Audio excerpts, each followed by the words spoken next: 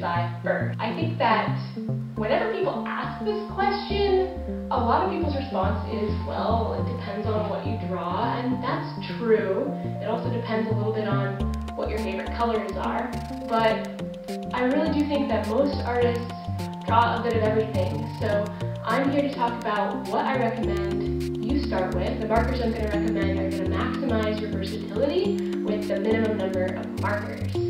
I think that eventually most people are going to want at least 36 markers, but that can be really a bit pricey to start. So I'm going to show you guys my recommended base 12 set of Copics, and then my recommended 16 set, 24 set, 32 set, and 36 set. So you can start buying right away, even if it's just two or three markers at a time. Let's go. First marker I'm going to recommend in a base set is going to be C3 Cool Gray. And that is because no matter what other colors you have in your set, you can use Cool Gray to shade or darken that color. My base set is going to have a lot of lighter colors because then you can use this gray to darken them. Uh, you don't have to pick cooler grays. You could. They also have neutral grays and they also have warm grays. I just pick cooler grays because I like cool shadows. Um, it's just kind of a bluer tone, and I'll show you what this color looks like. So I got the Copic original for my grays because they were some of the first Copics that I got.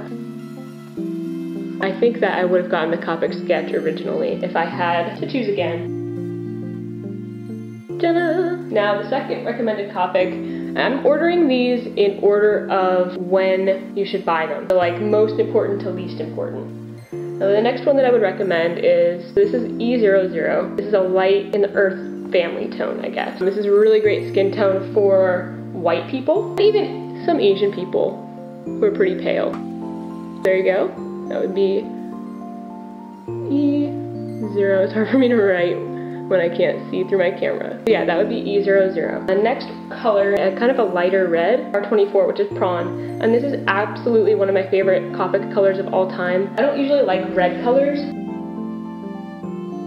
This is gonna be this is recommended because you can't really mix this color by layering other Copic color because it's a primary color. And then my next recommended color is, you guessed it, another primary color. It's gonna be blue. I picked a really light blue because it's easier to layer, it's easier to get the actual colors that you want when you're blending for other colors. So here it is B02, which is like robin's egg blue or something. Here we go. If you layer these, it doesn't really look like purple, which is why I'm gonna recommend a purple later because everyone says that like blue and red makes purple, but I never bought that. It just doesn't work. Kind of like a base middle yellow color.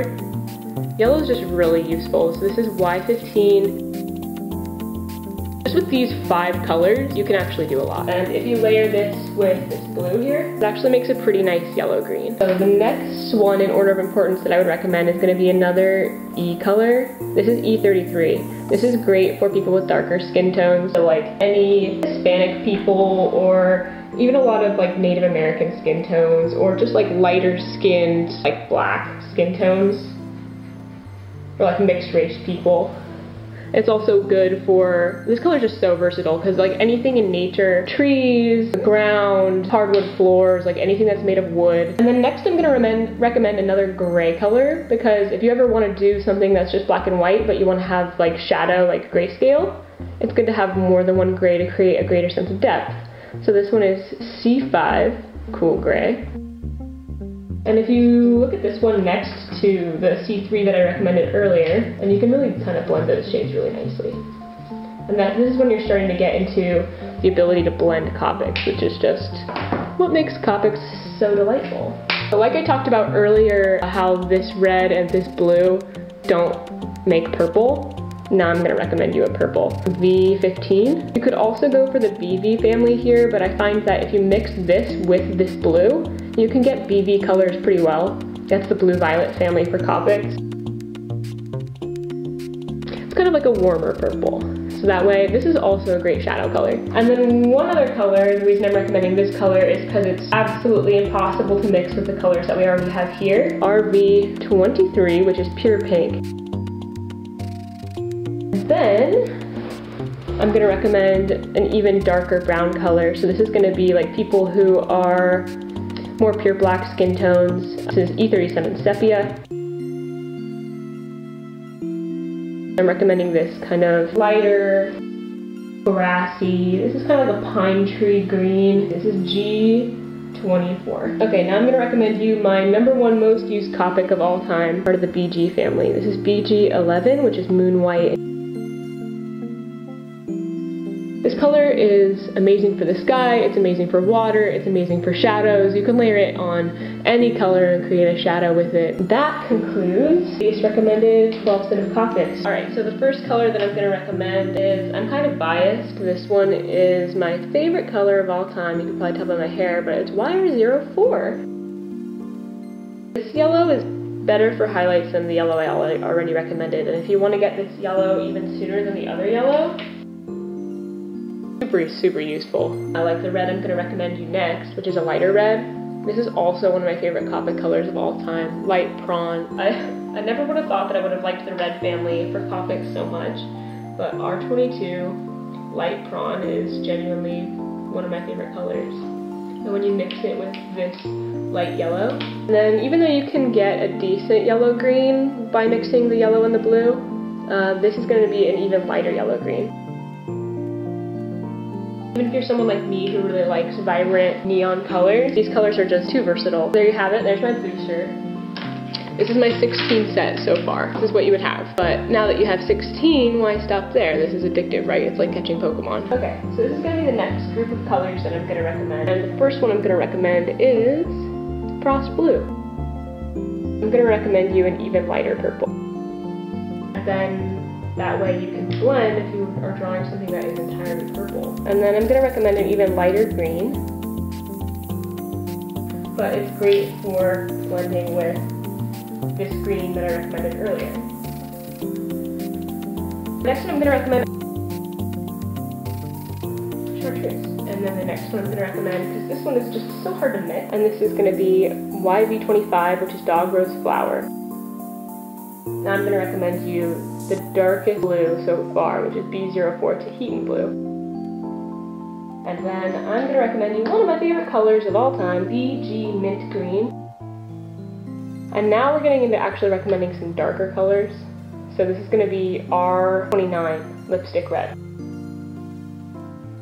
It really is like a dark red. It's not, it's a little lighter in real life. So this is a color that was not recommended to me when I first started and I really wish it was and this is YR02. This color is so useful even if you don't like orange. It's like a coral color. It's like YR02. You can use this to color things like if you're a fan of Steven Universe, like Pearl's hair. Oh, here, let's focus, huh? And then I'm actually going to start getting into recommending you some blue-violet colors, which I haven't recommended you any yet because up till now you've been able to blend your violets and your blues to get blue violets really well. But it's still going to be hard to get that lighter blue violet color. And this color is really just an amazing shading color. So if you have like a face and you don't want to shade it with blue, you can shade it with purple. And let's go ahead and do like Again, here's going to be a dark yellow green. I'm going to recommend G28. And then um, this color, which is BG18. Look if you compare it with the green. Here's YG19. And the last one that I'm going to recommend you for this set, which is going to bring you to a 32 set, is going to be Y07. Now I haven't recommended any dark oranges until last because the great thing about the YR family is that if you want to shade an orange, you can do it with red. Okay, so now finally this is going to be the last four Copics that I recommend completing, bringing you up to a full 36 set of markers. All three of these from the blue violet family because we have no blue violets.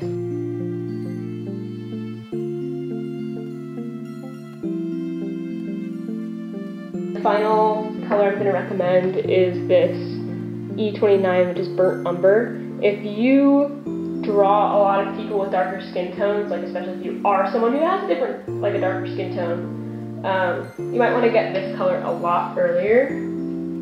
This is one of the first Copics I got, and it's useful for anything that's brown that you just really want that dark shadow on. It's just beautiful. It's a beautiful color. So there you have it. Okay, so I'm just going to talk about the different blending families that you will not have if you have all of the colors that I've recommended.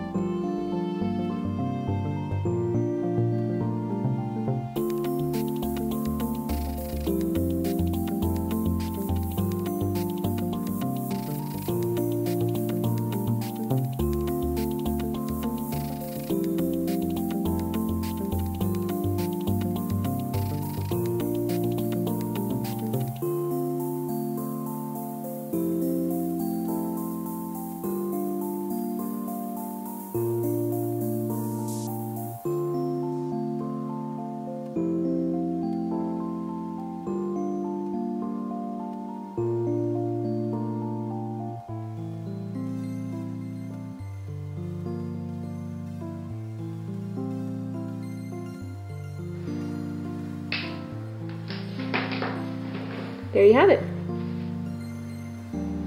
What 36 markers can do blending wise. Thanks for watching everyone, and I'll see you next week.